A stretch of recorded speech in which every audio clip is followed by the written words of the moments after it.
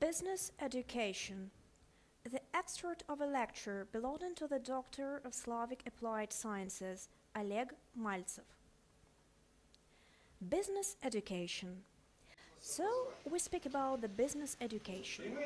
I believe it is a certain thing which just allows us to achieve those results некая money вещь, are которая paid. позволяет Aren't добиваться как раз тех результатов, I за mean the которые платят results деньги. for which the которые market голосуют рынок votes деньгами. with money. Поэтому все, что вы учите в Therefore, университете, в бизнес-школах everything that you и learn везде, оно at не стоит ни university копейки. or at business Оно schools, имеет ценность для вас actually, только в силу that того, что вы doesn't cost заплатили a за thing это at all. обучение у кого-то. such education is valuable only Обратите for you, внимание на owing to очень the fact интересную you вещь. Я have буду paid краток, someone for this вам education станет or сейчас training очень все понятно. or someone else. So please, pay attention to a very interesting thing. I will be short and soon everything becomes clear. How does the business range itself look like? Let's have a look. So I'm going to draw a ruler on the blackboard. A ruler consists of 8 steps from 1 to 8, beginning from the top and this ruler represents the business range. Okay, let's start. The first step, technologies. Second step, here we have strategic decisions. And third step, let's write HR management. As the fourth step comes, we're having a stream of clients management. The fifth step stands for finance. In universal understanding of the world, the sixth step comes with complex safety. The seventh step represents so, advocacy. And finally, the eighth step stands for personal security. So, just pay attention for the fact, it goes without saying that nobody argues that we don't use something fundamental, scientific in our activity. It doesn't give any guarantees to us that we will receive any results. Does anybody want to dispute? No? Okay. Is, if we don't use a true state of affairs, i.e. any true positions that work inherently that could be applied in many different ways, are demonstrable, bear something good, if not, these things won't work. Let's begin with the range business talk, I mean business technologies. Please, name me any science in the world which allows a person to construct technologies. And I'll write this question on the board. So, how the science which can construct technologies is called? What is it? No answer, just silence. Okay, let's check it on the internet. It is a very interesting experiment, right? Whether there is such science in the world or not. I'm going to check that in the trivial way. I write in Google search a science constructing technologies. Such science isn't present. So we check, come here, Olga, and Olga says, well, here we have just engineering, no science. But we face lots of tax, like high technologies, sciences, to design, all randomly. But the required science doesn't exist at all. Let's move further. What is the name of the science allowing to make strategic decisions, unmistakable decisions, with a big result ahead? So we write on a board a science allowing to find strategic decisions. Let's search for it in Google. Such science doesn't exist as well. Alexander, please come to me. Check up the search results, please, so that people do not have an impression that I have invented it all. Well, such science isn't present as you see which is syntax like course, management, decision-making, the theory of games found in Wikipedia, historical preconditions of occurrence, the perspective analysis of strategic decisions, introduction into strategy principles, what is a strategy? Hmm, but anything necessary isn't present. Probably this science is called a strategy. That we write in a comment that strategy. Well, we will know everything. So, the search results we see. Strategy is a general, non-detailed plan of any activity. I will not read further. Is everything clear? Okay. Let's switch to the problem of personnel, I mean HR management. It's getting more and more difficult. There is no science here, that's for sure, but some requirements for business with to staff still are present. And the question are as follows. What is Staff. Where is one to get the person? How could we prepare our staff? How should we force them to work? Etc. Etc. Et As for the question of staff, there should exist the whole group of sciences, because the requirements come from different areas. HR management isn't a science by itself, but the collection of experience of the other people. It represents what they do with the previous. Once again, we turn back to the previous scheme.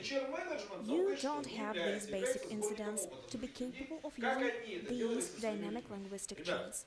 Therefore, it is useless to read books about HR experience, it will bring you to nothing. The following moment is a stream of clients management. How to sell, as a matter of fact, how to advance and to receive more money, how to gain trust, how to sell. Any science about it in the world side doesn't exist. There are just pieces of experience of other people, how they solve that problem. You may ask about 90% of work competitors, and they all will tell you just the same. It is necessary to develop advertising. They demonstrate no understanding at all, as advertising gains trust, but it doesn't sell. The final moment to examine in the finance. In understanding of many people, the finance is the management of money. What can we find here? There are certain principles of management of money, Money is made to electricity laws, so you should study physics, the electricity theory, etc. The following moment, business safety. Call me the name of science which provides safety. Let's write in common line a science which provides safety in business. We read, such science isn't present in nature. Quite clear, right? Perhaps I'm too strict and particular, Perhaps there is a technology which provides safety. бизнес. A science, well, it is too much, you know. Okay, let's find technology in Google. Technology which provides safety. Нет. So here are the results. Economic safety, economic safety of business, Может, just я services. слишком хватил, может, технология, которая Well, Nothing about technology which provides safety. No technology of safety exists in this world, just like madness, isn't it? The following aspect to discuss is legal aspect, I mean advocacy, the technology of dispute resolution, of negotiations, of mediation, the permission of judicial disputes, etc., etc. Such science doesn't exist either. One can easily check up for it. Also, there is no science which provides a personal security. And it doesn't matter if you want it or not. There is just the experience collection defined. So, in order, any technology appear, for example, the technology of maintenance of a personal security, permissions of questions in legal profession, technology providing safety of business, management of the finance, management of a stream of clients, HR management, strategic decisions, and for technology constructing, fundamental science should appear firstly. This science is to solve these problems, and on the basis of this science, the technologies may be constructed. That is, at first, we have fundamental science, and on its base, goes at technology, But today, there isn't any science about all that stuff, which means there is no technology solving these problems. Do you understand? So, where should one take all these technologies and science? An excellent question. Here, if you would ask me, Oleg Viktorovich, whether there is some science about this all. I will tell you there are both sciences and technologies. I have the answer to this question. And the answer is the pantheon of Slavic sciences. These sciences completely answer all que questions on these eight aspects. Let's list the branches of Slavic applied sciences. First, the abbreviation comes with SNEMDM, System of New External Motional Dynamic Management. Second science, EMDM, um, the abbreviation goes with external emotional dynamic management. Number three, normal, a science about role modeling. Number four, a science called SPS. The abbreviation comes with the science of performance of problem solutions. Number 5. HEA A science about the way everything is arranged. Just look, how everything's arranged. The abbreviation comes from that phrase. Science number 6. The Brenango mechanics. Science number 7.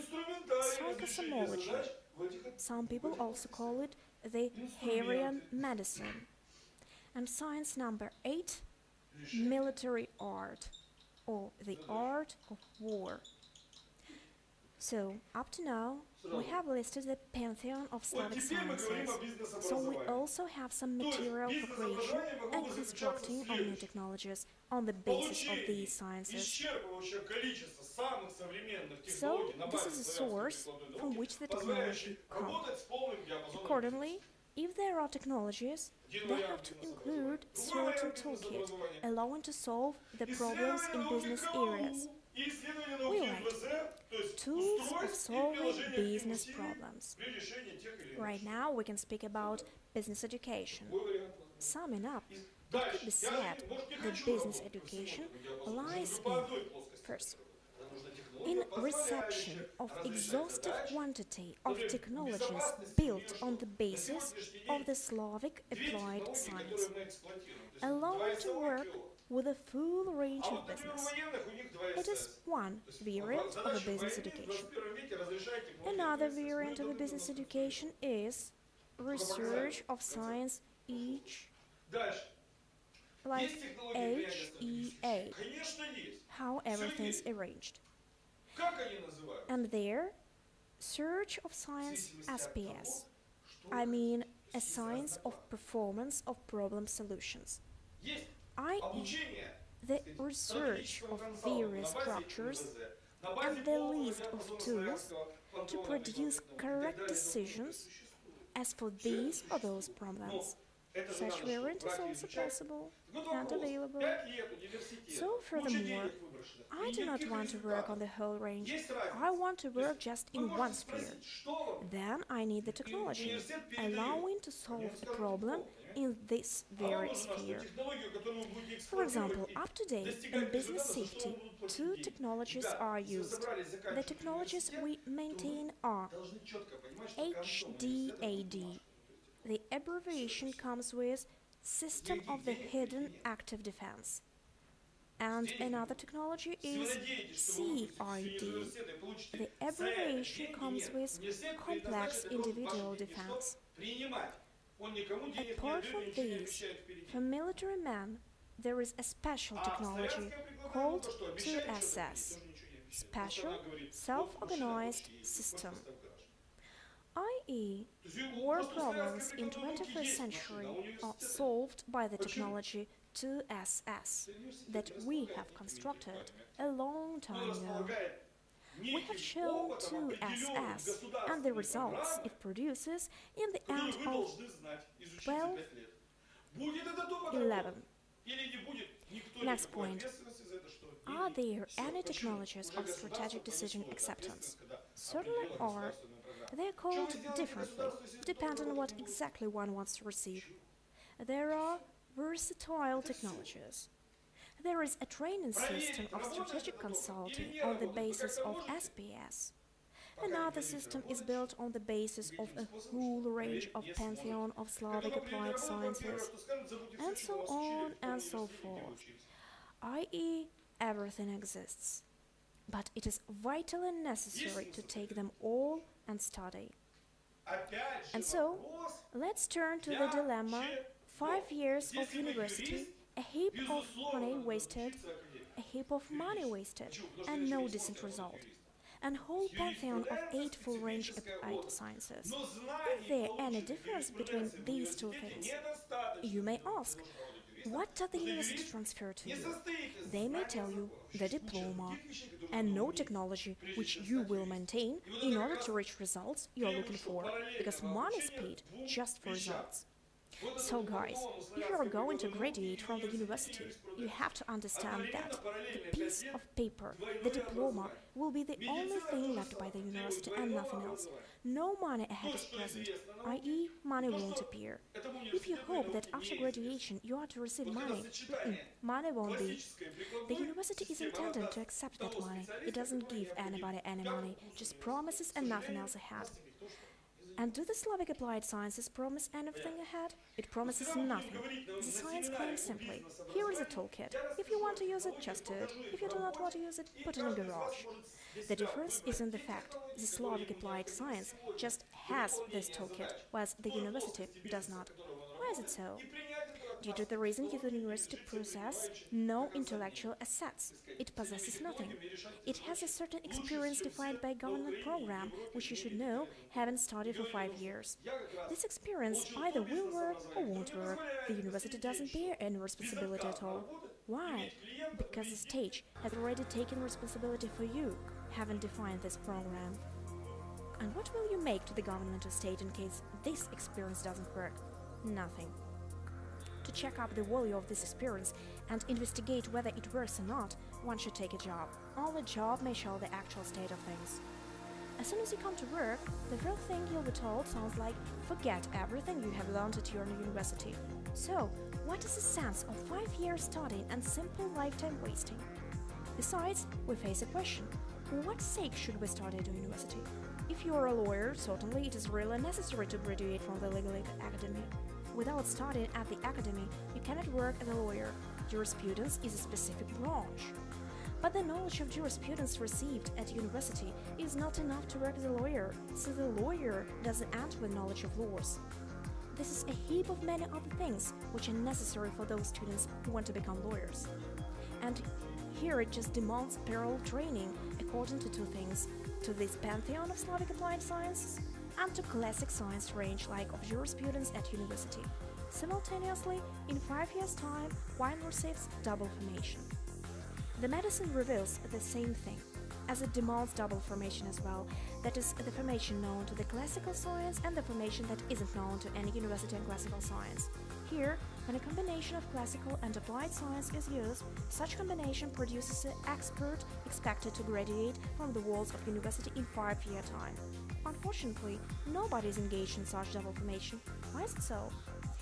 i.e., we are going to discuss business education at a seminar, and I will tell you about contemporary business technologies. I will show them in work, and each of you may choose such technologies which are today necessary for the problem solution in this or that sphere of business he works in. And anyone will be able to accept from these technologies to exploit them till the end of days, figuratively speaking. It goes without standing that these technologies solve problems better than anything else in Ukraine, in Europe, in the world, etc.